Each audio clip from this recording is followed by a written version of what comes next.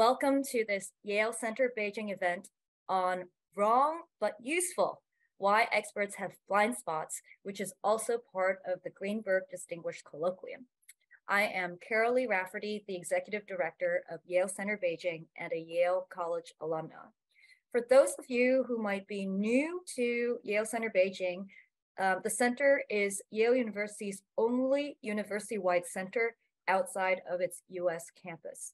Throughout the year, we host talks such as these, convening thought leaders from all sectors to discuss the most cutting edge, interesting, and important matters in our world.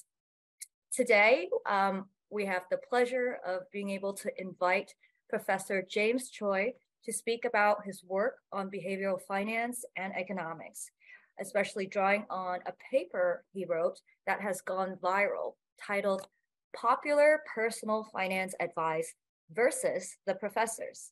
Professor James Choi read 50 best-selling personal finance books in the United States, compared their advice to normative principles drawn from economic theory, and published, published the results in this paper. Professor Choi is a professor of finance at the Yale School of Management, whose work has led to changes in pension plans uh, designs, uh, pension plan designs around the world. Among his many accolades and roles, he is a two-time recipient of the TIAA Paul A. Samuelson Award for outstanding scholarly writing on lifelong financial security, and he is a co-director of the Retirement and Disability Research Center at the National Bureau of Economic Research in the United States. Today's event will proceed as follows. Professor Choi will give a presentation, and then I will moderate the audience Q&A session afterwards. Throughout the talk, if you have any questions that you'd like to pose to Professor Choi, please feel free to type them in the Zoom chat box. And um, I'll keep an eye on them and select them and pose them to Professor Choi during the Q&A. Without further ado, let's welcome Professor Choi. Thank you. Well, thanks for the invitation. It's a pleasure to be here. As Carol mentioned, recently a paper I published unexpectedly went viral. An email went out to the world from the National Bureau of Economic Research at 12:57 a.m. on August 22nd, listing my paper and its abstract along with 21 other papers in, in this one email. At 8:34 a.m. that same day, a journalist emailed me asking if I'd be willing to be interviewed about the paper. So at 10:15 a.m., I spoke with this journalist as I was being driven to JFK Airport uh, in New York, where I was catching a flight. At 1:20 p.m. that same day, while I was on my flight, another journalist emailed me asking me if I'd be willing to be interviewed for a radio show. And that was really just the beginning. Uh, over the course of the next two months, I was interviewed by many other journalists and appeared in multiple podcasts, even a couple of TV shows to talk about my paper. This uh, is not the usual reaction to papers that I publish. Usually, the broader world does not prepare, uh, pay much attention to academic research papers.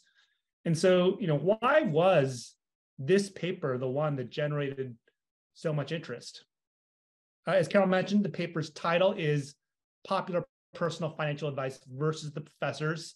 The idea was very simple economists have all sorts of theories about what the right thing to do is in your personal financial life.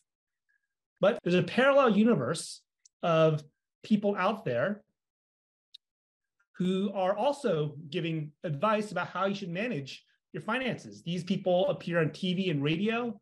Uh, in the US, they're people like Dave Ramsey, Suze Orman uh, on the left and the center here, or Jack Bogle the founder of the mutual fund giant Vanguard. These people are probably way more influential than any economist. Let's take Dave Ramsey, for example. He sold uh, one and a half million copies of his book, Total Money Makeover, since 2013. 18 million people listen to his radio show every week, which maybe isn't that many people in China, but it's a lot of people in the US. Uh, he's uploaded many of his radio shows to YouTube, and people have viewed those videos almost 650 million times. So the idea of my paper was pretty simple. let's just summarize the advice given in the 50 most popular personal finance books and compare that advice to the advice that is given by academic economic theory. I mean, shouldn't we economists know what these other people who are kind of in the same business that we're in and are very influential, shouldn't know what the other people are saying? And I discovered that people are very interested in somebody making that connection between these two parallel worlds of advice. And you know, it wasn't just journalists and their readers. I had a lot of economics and finance professors from around the US email me telling me how much they liked this paper. And again, this is not the usual reaction to papers I publish. Usually the reaction is just silence. Now, today's talk is actually not primarily about this paper. This is a talk about the question, why didn't anyone else think to write this paper before? This was not a paper that required a high IQ to write. It's on topic that's of great interest to a lot of people. Didn't take a lot of money to buy these 50 books. They're sold for pretty cheap. Uh, there are a lot of economists out there who could have written this paper. Why didn't they?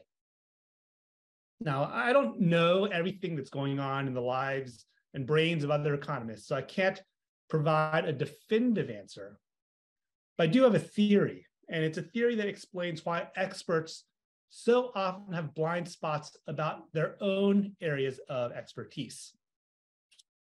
My theory is this. There was a famous statistician, George Box, who had a famous saying all models are wrong, but some are useful when experts first start getting trained in their field, they see that the field's models, that is, the field's theories, are wrong. They're not totally accurate. But they're drawn into the field because they also see that the field's models, the field's theories, are useful.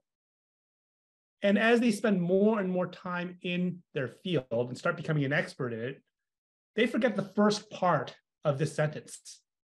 They forget that their model is wrong. Why are all models wrong? Well, in order for a model or a theory to perfectly match what's in the world, that model would have to be as complicated as the world. But a model that complicated would be too complicated for us to understand. So that kind of a model would actually provide no insight. In order for a model to be useful, it has to simplify reality. But if it's a simplification of reality, it's not going to perfectly reproduce reality. And so that's why all models are wrong. But some models are useful. So let's talk about a workhorse model in economics that is clearly wrong. Economists model people as having what we call a utility function, which you can kind of think of as being like a happiness function. So here's a graph of a simple utility function. On the horizontal axis is how much money does the person have? And the vertical axis represents how happy the person is. Uh, so this utility person uh, function shows that the person gets super unhappy if the money he has drops towards zero, and he gets happier as he gets more money. Economists say that people make choices as if they maximize their expected level of happiness as represented by a function like this. Right, how does this work? There's a little bit of math in this slide, but don't worry, this is you know, just a little bit of math in the talk. You don't quite follow what I'm about to say on the slide, you'll still be able to understand the rest of this talk. But you know, let's just kind of walk through this for about 45 seconds. Uh, let's say that you have a person that's making a choice between getting 100 yuan for sure or playing a gamble that has a 50% chance of giving her 50 yuan and a 50% chance of giving her 160 yuan. Which of these is she going to choose, the safe option or the gamble? Economists say, let's suppose that this person has that utility function, that happiness function I just showed you on the prior slide. So you plug in numbers into that function. And so what is the utility of having 100 yuan? Well, it turns out with that function, it's 4.61. So getting 100 yuan for sure gives the person a happiness level of 4.61. If the person chooses to gamble, she has a 50% chance of getting the utility associated with getting having 160 yuan or a 50% chance of utility of getting uh, a 50 yuan. And again, if it so, hap- it so happens if you have the utility function on the prior graph, 160 yuan gives you a happiness level of 5.08, and 50 yuan gives you utility level of 3.91. You just do the arithmetic, and so the expected utility or the average amount of happiness you would get from taking that gamble is 4.49. So we compare this average level of happiness with this level of happiness, and you see the 4.61 is bigger than 4.49. So this person is going to choose the safe option instead of taking the gamble. Now, you might say that this is an incredibly impoverished, inaccurate way of thinking about how real people make choices about risk. And you would be right. There is a ton of evidence that people do not make choices about risk in this way. Expected utility theory, which I have just described, is wrong but there are hundreds of thousands of economics papers that have been written using expected utility theory because it is a useful way to represent human decision making.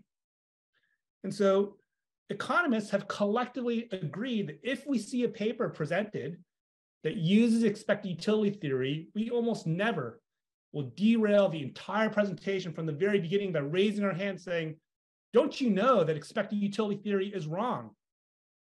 we have collectively decided we are going to ignore this wrongness because it allows us to get some other insights. But this raises a question. If all models are wrong, who gets to decide what models aren't too wrong? If some models are useful, who gets to decide which models are useful enough? This really highlights the fact that all knowledge creation is a social process. A community of researchers together decides which models aren't too wrong and which models are useful enough.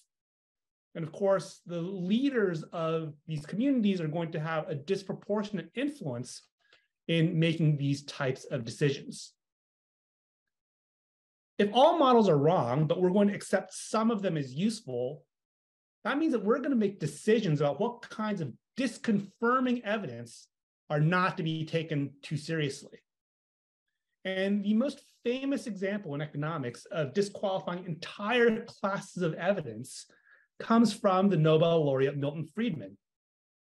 Friedman told a famous or infamous parable about modeling the shots of an expert billiards player he said that the best model for predicting these shots assumes that the expert billiards player knows the laws of physics and chooses his shots accordingly.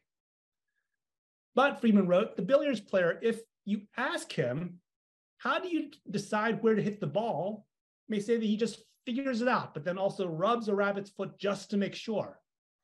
So according to Friedman, it's actually useless to ask people how they make economic decisions what they say has no value as evidence for evaluating our theories. The only evidence that matters is actions and how well our theories predict those actions. So within any discipline, economics, sociology, chemistry, medicine, there are norms that have been established about which models aren't too wrong, which models are useful enough, and what types of evidence have value. And this is why interdisciplinary research is so hard. Economists and sociologists, we study a lot of the same phenomena. But if you try to get an economist and a sociologist to work together on a research project, chances are that they won't get very far because they just can't agree on these basic ground level questions. What kinds of wrongness are they willing to tolerate? What dimensions of usefulness are really valuable? And what kinds of evidence should be paid attention to, what kinds of evidence should be ignored. All models are useful or are wrong, but some are useful. The problem is that as experts spend more time in their field, they forget the first part of the sentence. The models they're using are actually wrong. Philip Tetlock is a professor at the University of Pennsylvania. He received his PhD in psychology from Yale back in 1979. Uh, he is one of the greatest social scientists of our era. Tetlock has spent decades studying the ability to predict the future. He recently published a book called Super Forecasting The Art and Science of Prediction, which summarizes uh, this work of his life. And my thinking has been deeply influenced by this book, so I highly recommend it. One of the main ways Tetlock studied the ability to forecast the future was by running forecasting contests. He would ask contestants to make predictions about really difficult things like uh, will Serbia be officially granted European Union candidacy by December 31st, 2011? Will either the French or Swiss inquiries find elevated levels of polonium in the remains of Yasser Arafat's body? Will the London gold market fixing price of gold exceed 1,850 US dollars on September 30th, 2011? What Tetlock found was that some people are persistently better forecasters than others, and shockingly, subject matter experts are not particularly good at forecasting in their own area of expertise. Tetlock writes that the average expert was roughly as accurate as a dart throwing chimpanzee in his or her own area of expertise. In fact, the contestants who are really good at forecasting, he calls them super forecasters, are better at predicting the future than experts in their own domain of expertise. Why are some people better forecasters than others, and why are experts so bad at forecasting in their own domain of expertise? Tetlock found that there are actually two approaches to forecasting by thinking about the world, two types of forecasters. He labels them foxes and hedgehogs, inspired by a line written by the ancient Greek poet Archilochus, who wrote, The fox knows many things, but the hedgehog knows one big thing. The fox knows many things, but the hedgehog knows one big thing. Hedgehog forecasters know one big thing. They have one grand theory that informs all that they do and say. Foxes know many little things. They draw from many sources of information and they combine many sources into a single conclusion. They're less confident. They're less likely to say something is certain or impossible. It turns out that foxes are superior forecasters. And experts are bad at forecasting because they tend to be hedgehogs. They forget that their own grand theory is actually wrong. So they ignore all the other approaches to knowledge, all the other opinions, all the other sources of information outside of their discipline when making forecasts. Let me illustrate how hedgehogs go astray and how foxes do better in a financial domain predicting the stock market's return, which of course everybody is, is kind of interested in. Uh, this is a study that was published by uh, David uh, Rapach, Jack Strauss, and Guofu Zhou in 2010. They take 15 variables that have been proposed in the academic literature as being potential predictors of future stock market returns. They form forecasts of the following form. The return in quarter T plus one will be some constant A plus a constant B times the value of the predictor variable in the prior quarter T. Now, they form these forecasts using only historical data up to date T. So let's just illustrate what they're doing here. Suppose they're studying some predictor X, and the first thing they're going to try to do is to predict the stock market's return in the first quarter of 1965 using the value of X in the fourth quarter of 1964. They have data going back to 1947. And so, what information would an investor who actually was living in the fourth quarter of 1964 have? Well, that investor would only have data from 1947 to 1964. That investor would not have data from future years. So the authors find the values of A and B in this equation that produce the smallest deviations from actual returns in the data from 1947 to 1964. So then they use these values of A and B to predict the 1965 first quarter return of the stock market. Okay, so they'll make a guess, and then, you know, of course, the guess won't be perfect, so there's going to be some error to that guess. Now they try again to predict the stock market's return, but in the following quarter. So they'll try to predict the stock market's return in the second quarter of 1965, and now using the value of X in the first quarter of 1965. But now, an investor who was actually alive in the first quarter of 1965 has data from 1947 up to the first quarter of 1965. And so they're going to estimate new values of A and B of taking into account this additional data that the uh, that the investor at that time would have had access to. And so they keep on repeating this procedure for every quarter until the end of their data in 2005. So this is mimicking the experience of an investor who's trying to make investment decisions in real time using the historical evidence that is available to that investor. So this is, you know, just, you know, a little bit sophisticated, not very sophisticated, let's think about you know the simplest dumbest way you could go about trying to predict the stock market's return which is uh, i'm sitting uh, today and my guess for next quarter stock market return is just the average return that the stock market has historically experienced up to today. Okay so that's my dumb you know low iq way of uh, uh predicting the stock market's return. The finding is that none of the 15 variables that are that have been proposed uh, up to the point where this study was was uh, was published outperforms a guess that is just the historical stock market average return.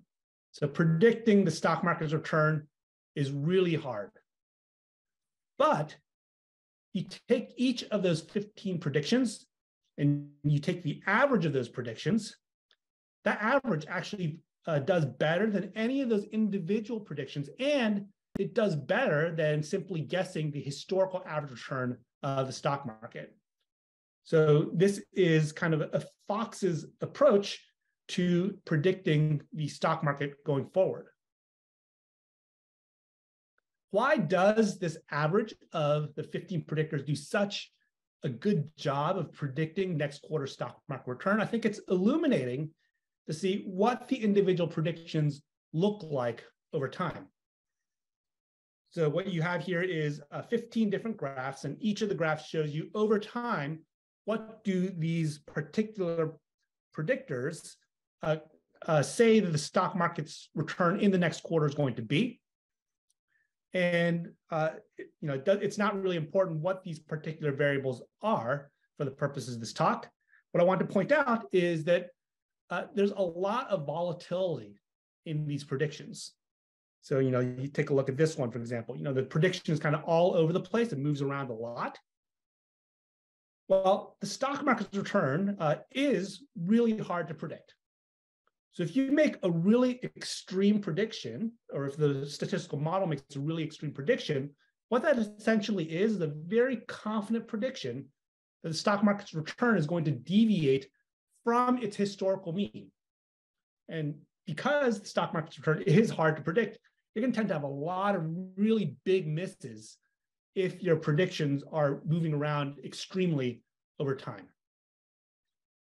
Now, in contrast, the forecast that averages together the 15 individual forecasts is pretty smooth. And that smoothness helps its forecasting performance. The Fox acknowledges that there is a lot of uncertainty in the world, so it tends not to make very confident, extreme predictions. There is an easy way to misinterpret uh, what I have just shown you. So uh, the wrong lesson to take away from this uh, is the following, that you should create a more complicated model that includes all 15 predictor variables simultaneously. In other words, look at the historical data up to today and find the values of B1, B2, you know, B3 all the way to B15 that create the best historical fit between quarter T plus one's return and a weighted sum of all 15 predictors, and then use this estimated relationship to predict next quarter stock market return. This complicated model turns out to have the worst predictive performance of all the models that are tested. And you can see why in this graph. That dashed line shows that the complicated model uh, generates really, really volatile forecasts. And what's going wrong here is that you gave the model a lot of flexibility to fit the historical data. It had 15 different levers that it could pull in order to match the predict the historical data really, really closely. And so what the model ends up doing is it mistakenly thinks that random unpredictable noise in the historical data was in fact predictable using that combination of 15 predictor variables, when in fact the noise and the predictor variables sometimes moved in the same direction only by chance. So you're fitting the noise in the data and noise doesn't kind of repeat from, from period to period. And so this is, a graph where it's clear uh, that there is a linear relationship between the horizontal axis variable and the vertical axis variable. So basically, it, it's kind of this linear uh, relationship between the y-axis and the, and the and the and the x-axis, but then there is some random deviations from that linear relationship. But if you give the model a lot of flexibility to fit the data, then indeed the model is going to fit that data perfectly. So that blue line that you see uh, runs through every single one of those data points in the historical data perfectly. It just goes right through. But now if you try to predict the future using this complicated model, you'll end up making kind of some crazy predictions because the model has overfit the data, it has fit the noise, and that noise is not representative of what's going to happen in the future you what you should have done is just use the simple linear model and uh, predicted using that simple model instead of the complicated model.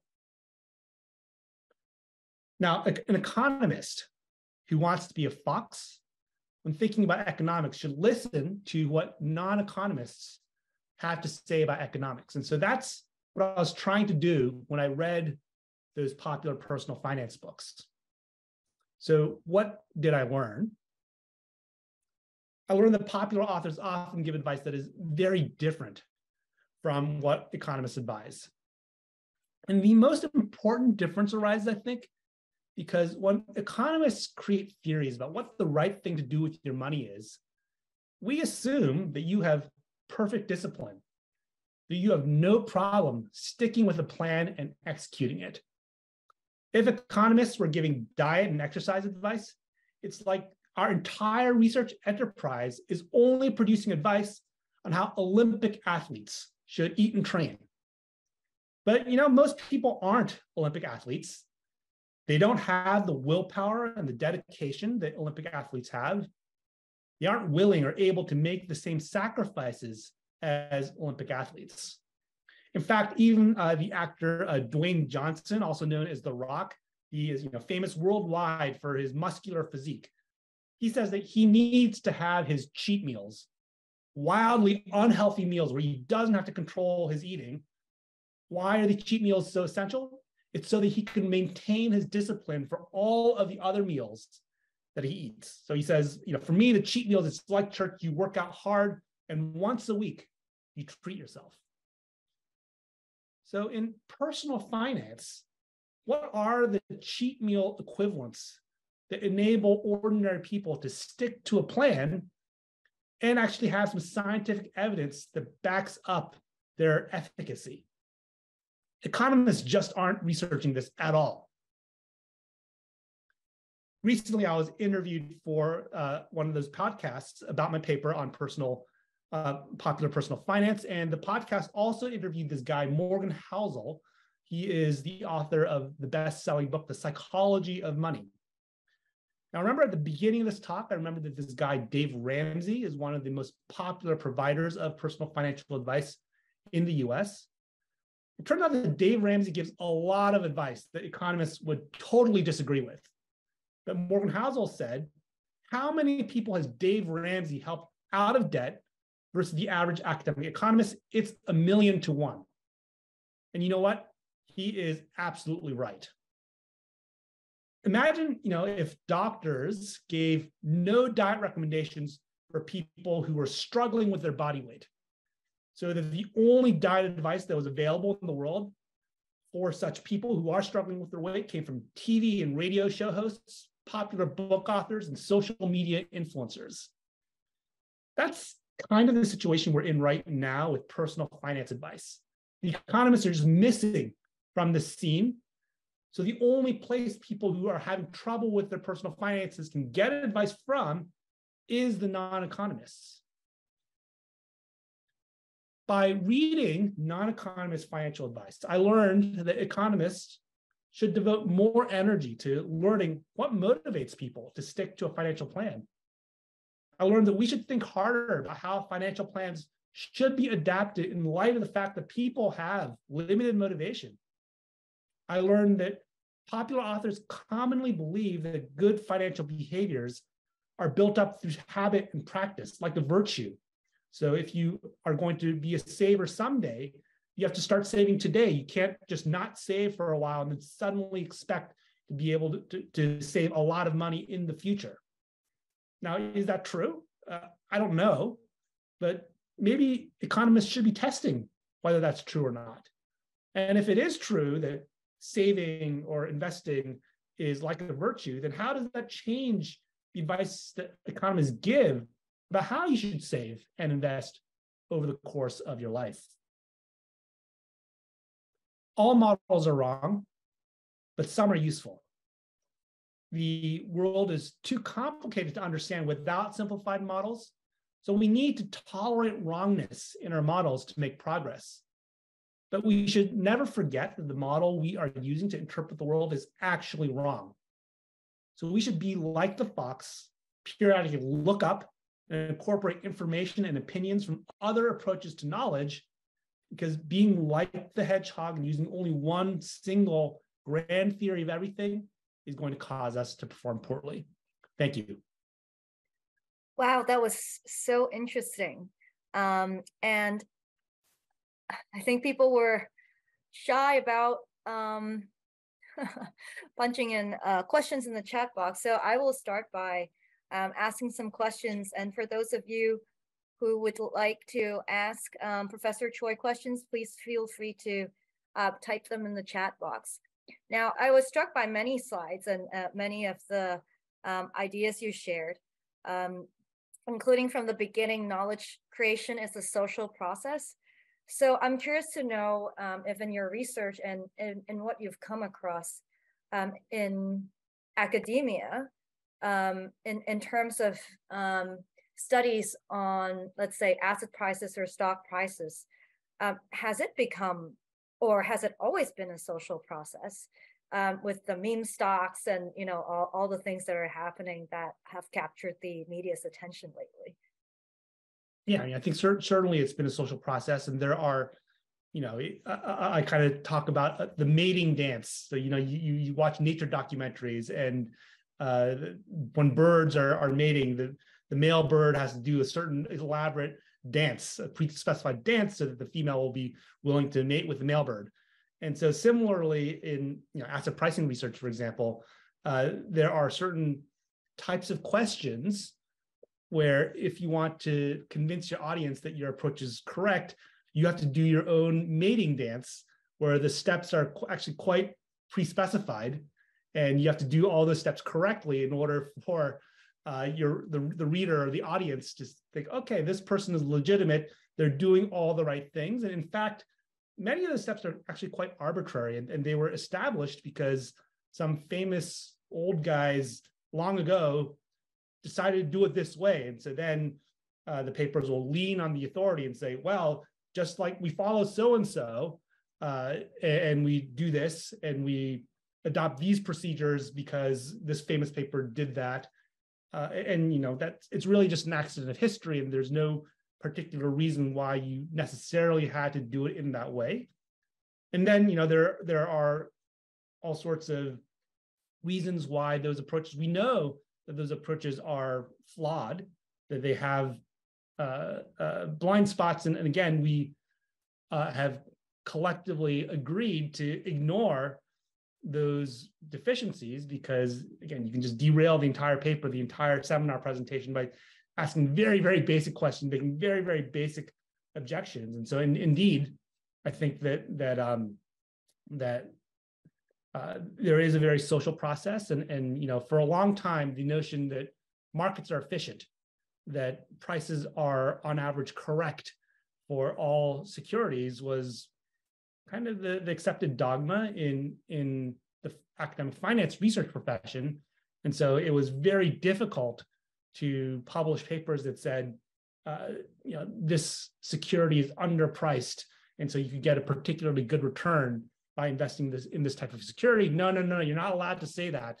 What you have to say is oh there must be something particularly risky about these securities such that on average they have high prices.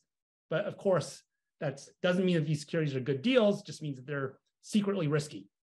And over time, that thinking was able to be shifted, but it took a long time. And I think it, it was a social process. And now I think it's much more acceptable to, to write papers that are along those lines. And so, absolutely, it, it is a social process, just like uh, any other field of human inquiry. Um, we have an interesting question from the audience asking um, Is your talk um, kind of, I guess, a snapshot of what behavioral economics, the field, is about? I think so. I mean, I think that there there is uh, this. Well, so, so there there are you know. Let, let, us talk about my talk, and then let's talk about the paper that that kind of was the inspiration for the the rest of the talk. Uh, so I think that the kind of the social aspect of of knowledge creation, I think that there is very much a behavioral economics component to it because if we were all perfectly rational and infinitely sophisticated, we wouldn't have to make these uh, shortcuts uh, to accept wrongness in our models, to have models be very simple. We would just know how the world is actually structured, and we would make predictions and, and form theories along those lines. And so I think that there is an aspect of that. And then, you know, uh, kind of the deference to authority and, and you know, if the authority uh, leaders of a particular discipline are mistaken, then the entire field can kind of go in the wrong direction for a couple of decades. And I think there, you know, economists have studied herd behavior, where if the first mover in a sequence of movers goes in the wrong direction, everybody just follows that person, uh, you know, assuming that the first mover had some special information. So, uh, you know, and of course, there's a, a, lot of application there to stock prices, and you know, you see the stock has this stock has risen a lot. Oh, you know, it must be a, a good investment. Just turned out that it went up for random reason, but now you got a big herd of people kind of going into the stock and um, you know, kind of pushing it up and, and causing it to be overvalued, for example. So that's kind of on on the knowledge creation uh, portion. And then I think on the kind of the personal finance portion, absolutely, I think that uh, one, you know, so I am a behavioral economist. Uh, a lot of my research has been on dumb things people do with their money. And there are particular biases that have kind of been studied for decades now. And, and so we, even behavioral economists, we tend to fixate on a particular set of biases because these are the biases that became famous in the 1970s and the 1980s. And, and so when we see new phenomena, we were always kind of referring back to those types of biases. What I found uh, relatively new when I you know, read these popular books is that they were referring to a whole other set of kind of human weaknesses that behavioral economics, frankly, has not thought a lot about. So, you know, I, I get discouraged from uh, pursuing my financial goals because I have a temporary setback, right? I broke a personal rule that I had for myself. And so now my entire debt repayment plan, uh, I, I end up abandoning it. So these kind of motivational uh, uh, factors is not something the behavioral economists have historically thought a lot about. Um, uh, people, you know, some of these books say you should not invest 100% of your portfolio in the stock market because you can not psychologically handle uh, the risks that are associated with a 100% stock allocation. And you know this this is actually a, a, fairly different approach than behavioral economics has taken, where you know we don't really haven't historically thought a lot about people just getting scared uh, when and discouraged from their investing plan when they experience a temporary setback. We, talk about loss aversion and oh yeah, we don't like it when when our, you know lose money. We, we dislike losses more than we like gains, that sort of thing. But it's not a very uh, emotional, motivational approach to uh, the way we think about personal investing, personal uh, financial decisions. And so, absolutely, I think there's a there's a, a behavioral economics uh, angle to the approach that I discovered in these personal popular personal finance books, but really a, a different flavor than what we behavioral economists have been obsessing over for the last 40 or so years. I see there's a hand. Thanks for the answer. Um, I see that uh, Feng Liu has her hand up, so I'm going to unmute her to ask the question. Yep. Yeah, thank you so much. And thank you, Professor Choi. Um, this is from, from Yale School Management. I just graduated in May. So what you are sharing tonight just make me feel back, go back to Yale School Management again. So appreciate Welcome that. at any time. yeah and i also want to say that what you have shared also make me you know think about the behavioral economics since i i also learned this class at Yale management um, but you shared from another angle which uh, is really impressive um, my question is, I'm curious for the people who lack a professional financial background or knowledge, you know, how do they know these uh, models works or not? How do they know these models right or not? And how do we know, um, um, you know, in terms of investment or decision making, how can we, how the people who lack this knowledge can take advantage of these models? I think this is a, a really hard uh, question in life. So, for example, yeah. I know nothing about cars. So, what, mm-hmm. if I take my car into the mechanic and the mechanic wants to defraud me and so just make me do all these repairs that aren't necessary, I'm just going to get defrauded because I don't know anything about cars. Now, similarly, for somebody who doesn't know anything about finance, how can they uh, evaluate the financial advice that's coming to them. I, th- I think it's very, very difficult. And even uh, if you try to rely upon what, what your friend's uh, experience was with, with the financial advisor, actually, that's not particularly uh, accurate. So there are, you know, basically financial professional financial advisors are in the business of making you feel good, of making you feel confident in them, which is quite a different thing than actually giving you good advice. And we see this in the medical field as well, that there are certain doctors that have very good bedside manner. So they make you feel good as a patient, they make you feel cared for, but in fact, they're giving you, you know, very poor treatment. The correlation between these two things is, is very, very weak. So, you know, I think that there is, uh, you know, no perfect substitute for having a little bit of information or learning uh, yourself.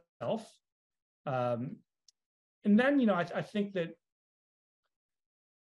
when when it came to uh, these books and why did I choose the 50 most popular finan- financial uh, advice books and, and, you know take some of the advice actually fairly seriously is that these are books that have passed some sort of market test. So enough people found what they wrote compelling that maybe there's some truth in there. And when i read these books i did think there's a lot of stuff in here that i think is just false and wrong but there's a kernel of truth in them, in that they are addressing a particular particular felt need in the population of their readers that we as economists need to take seriously. So again, coming back to this example of, uh, you know, there, there are certain ways that economists say you should get out of debt. So for example, concentrate on paying your highest interest rate debts first. This, this is like kind of very basic economic uh, advice. Just you know, you do your arithmetic and you realize that's the cheapest way to get out of debt. You pay down your highest interest rate debt first. What a lot of these popular uh, authors advise you to do is to pay down the debt that has the smallest balance first, even if it's not your highest interest rate debt. And they say that the reason you should do this is that if you can get a debt balance down to zero, that's going to be really motivating for you. It's like, wow, I just accomplished something. I feel good. I'm making progress on my debt repayment plan. And therefore, that's going to allow you to continue on your debt repayment plan and finish it. And so, just you know, going back to the diet analogy, the best diet is a reasonable diet that you can stick with. So there are perfect diets that you can't stick with. Those aren't good diets. You need a diet that you can stick with. And so a lot of, uh, uh, of I think, these deviations uh, from kind of the perfect economic advice that I saw was about kind of maintaining that motivation. And so I think uh, there is something to be learned from that. And so even if you uh, you know you're going out and you're you're looking for some financial advice yourself, and you see there's a certain theme that uh, kind of comes up over and over again across many different sources, and you know, even if that advice is technically wrong, there may be some wisdom in that uh, that I think uh, we can learn from. Um, that's so interesting, and and thanks for thanks to Fang Liu's question. Um, I actually have a follow up question to her question, which is um, based on what you shared as um, the you know the best predictor of future stock market returns is actually more an average of all the um, indi indicators rather than any of the indicators themselves. Um, do you think that with professional investing, as if um, you know quant funds or hedge funds, um, does it, it does it work that way where models that are more complex and take into account more factors do those models tend to do better uh, in terms of um, investment returns? Um, so the average of everybody's investment decisions is basically the overall market, right? And so there's there's a, a huge amount of evidence, at least in the U.S. markets, that passive index funds that are just trying to match the overall stock market's return rather than beat the stock market returns can outperform, you know, 85% of the actively managed funds that are trying to beat the market. And of that 15% uh, that beat the index funds, it's not the same 15% year after year. It just basically, it seems like it's random who ends up beating the market. So absolutely, I think that's a an application of or an instance of this principle that in general, the average of the predictions is the best predictor not any individual predictor themselves. And so I, I think um, now, at, at least uh, through, I think the, the data went up to, you know, maybe 10 years ago. In the Chinese stock market, interestingly, uh, at least until I, I haven't seen the most updated data, but for a long time, active investment mutual funds in the Chinese market seem to outperform uh, just the passive market index. And the interpretation I've seen of that is that for a long time, these professional fund managers had some privileged information about the individual companies. And so we're able to trade profitably on that information and that privileged information access was something that would be illegal in, in, the US market, for example. And so I don't know to what extent that is still true uh, of the Chinese market and the Chinese mutual fund, but that is kind of an exception to what I was just telling you, where for a while, at least the institutional funds in China did seem to have uh, an informational advantage. And in fact, all, you know, the Chinese stock market is a very individual trader, retail trader driven market. And really, those retail traders seem to have been making a mistake trying to trade on their own. They should have just put given their money to a, a mutual fund manager in China, and they would have done substantially better. Thanks for sharing that. How how interesting. Um, I see a question from um, Pan Bang Hao. Um, he asked, would you like to share your experiences, such as how to simplify research? Uh, my guess is that this is a question about um, kind of the topic. You know, if all models are wrong and some are useful, um, where does that point to? Maybe you know, if you can elaborate on, let's say, in your field, um, you know, how can one make research more fruitful? Um, you know, if you as like what what can academics do more of um, to correct the um, issue you pointed out that um, you know you kind of just ignore the wrong models when you start discussing something or doing research on something. Yeah, I, am going to defend uh, the wrongness to to a certain extent. Uh, you know, we make progress in knowledge because we agree together that we're going to ignore some level of wrongness because otherwise we're just not going to be able to get beyond step one. And so I, you know, I am an economist. I I work within the discipline of economics and finance. And you know, my the research papers I write are not breaking radically from the mold of my discipline. And so there are all sorts of simplifications we make in our you know in in our research papers. And, you know, I showed you that one example of, of, you know, this utility function, this happiness function, and people making decisions as if they're maximizing the expected value of that utility function. Clearly it's, it's wrong. People don't actually do that, but I've written papers that make that assumption and kind of draw out the implications of that. So I think that, you know, you, you should work within the confines of a discipline because as I was saying, interdisciplinary, truly interdisciplinary research that tries to uh, really get to the wrongness, uh, address the wrongness of the disciplines, is very difficult to make progress in that way. But again, you shouldn't forget that, in fact, your discipline has a lot of wrongness in it. And so periodically, you should kind of look up and see, um, you know, what are kind of adjacent disciplines that are studying similar questions. Uh, what are they saying about my problem? And this actually has a has a you know analogy to some group dynamic uh, uh, kind of optimal man- management of group dynamics in, at the workplace.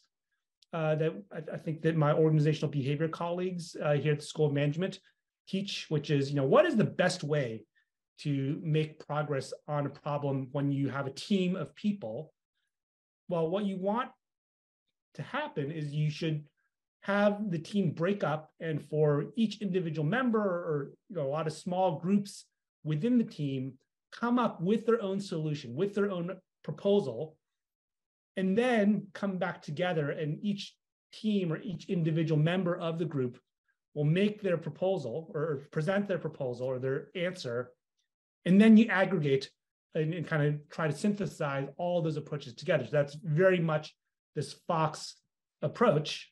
And the wrong thing to do is to just start off in the big group talking together because then, well, the most senior person in the group or the loudest person in the group, uh, they're going to just dominate the conversation. And then the entire group will kind of gravitate to us in that direction. And so that's very much a hedgehog uh, type of approach that emerges when you start off the group discussion or the group effort with everybody in the same room working together. So similarly, I think in, in academic research, the economists should be doing economist things and doing economic research, and the sociologists should be talking among themselves and writing papers in the sociological tradition and, and methodology. But then every once in a while, we should get get together and see, you know, where, where are you at and where are we at? Let, us talk about that. So I, I, think that that's kind of the, the, the most fruitful way for knowledge progression to happen. But then also, I think that uh, I was saying that uh, because knowledge production uh, is a social process, there are people who are kind of seen as senior in the, in the field, leaders of the field who have disproportionate influence in you know how how the field is going to progress, what the standards are, what's considered wrong, you know, not too wrong, what's considered useful enough. And you know, someday you may find yourself in a position where you are uh, in kind of that senior uh, leadership role in an entire discipline, uh, or at least within an entire organization. And I think that's where things get pretty interesting because you do ha- have the opportunity to shift some of the standards and shift some of the approaches. And you know, at that point, you would be the expert in that field. So I don't necessarily have have advice uh, for you as to exactly you know which way you would want to shift things. But I think that uh, what's been kind of fun for me in working on this particular project and a few other projects uh, that a few other papers that I've published recently is I felt like I, I've had a little bit of an opportunity to shift the research norms of economics and finance in a little bit of, a little bit away from that Milton Friedman approach that you know don't listen to people. What people have to say uh, has no value as evidence for our theories. And I, just, I have a few papers now saying no actually people have some pretty interesting things to say and maybe we should pay some attention to what they have to say and also some attention to what they're listening to. So if dave ramsey is reaching hundreds you know millions of people with his podcasts and his radio shows and, and, and his books maybe we should like listen to that and, and we don't need to necessarily believe what he says but let's listen and, and see if our theories need to adapt to uh, take into account what people are saying what people are, are listening to.